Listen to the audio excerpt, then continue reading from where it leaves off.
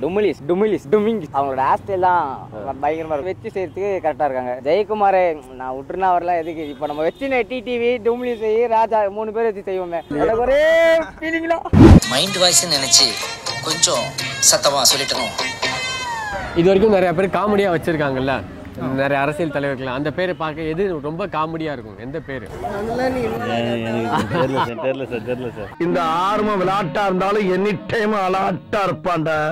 TTV Dinakaran. TT original பேரே அதான்டா அவருக்கு பேரே காமெடியா தானே இருக்கு ஒரிஜினல் பேரே. இபிஎஸ் இபிஎஸ்ங்கிறது மீனிங் வேற இருக்கு. ஆன்டி இந்தியன் ராஜா விஜயலிசை தர்மாகோல் ராஜா. உலகத்தையே முடிடுவார் அவர். யாரு அந்த தண்ணியில தர்மகல் அவர் தான். ராஜா. ஆ. அதான் நல்ல காமெடியா இருக்கு. டுமிலிசை. எச் ராஜா கேட்டு ஓபிஎஸ் தானே. மிக்சர். ஓகே மிக்சர்லாம் எல்லாமே ஃபேமஸ் ஆனது.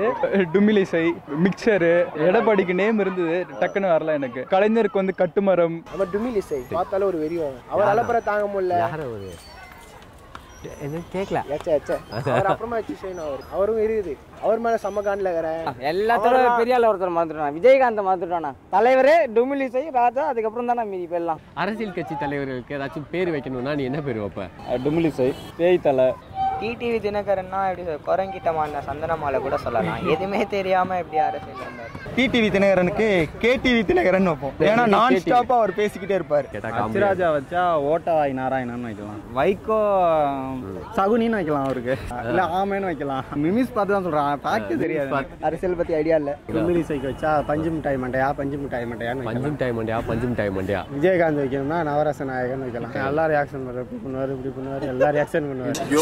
யோகாங்கிறது அமைதி. மோடிக்கு இப்பதான் ரெசல்யூஷன் எடுத்தோம். ஃபாலோ பண்ணலாம் இப்போதான் ரெசல்யூஷன் எடுத்தானுங்களா? கெட்ட வார்த்தை பேசக்கூடாதுன்னு சொல்லிட்டு. தினகரனுக்கு கட்டு வெறியான் வரலையே டக்குன்னு.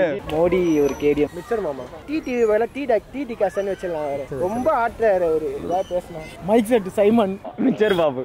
ஆமா பூந்த வீடும். வைக்க போன கச்சம். விலங்கன் தான் சரித்திரமே இல்லை. மோடி பஞ்சாயத்து தலைவர். இல்ல இது போட்டுருவீங்களா? கண்டிப்பா என்ன போட்டுருவாங்க? வாங்க ஏன் பயப்படுறீங்க? வாங்க. நான் அடிச்சு அடிக்கல மாட்டேன் வாங்க.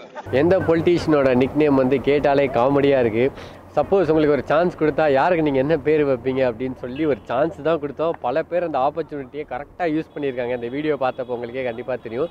ஸோ மறக்காமல் வந்து நம்ம சேனலை சப்ஸ்கிரைப் பண்ணுங்கள் லைக் பண்ணுங்கள் ஷேர் பண்ணுங்கள் நிறையா வீடியோஸ் வந்துட்டே இருக்குது முக்கியமாக கீழே இருக்க அந்த பெல் பட்டனை மறக்காமல் ப்ரெஸ் பண்ணிடுங்க அரசியல்ல இதெல்லாம் சாதாரணமாப்பா.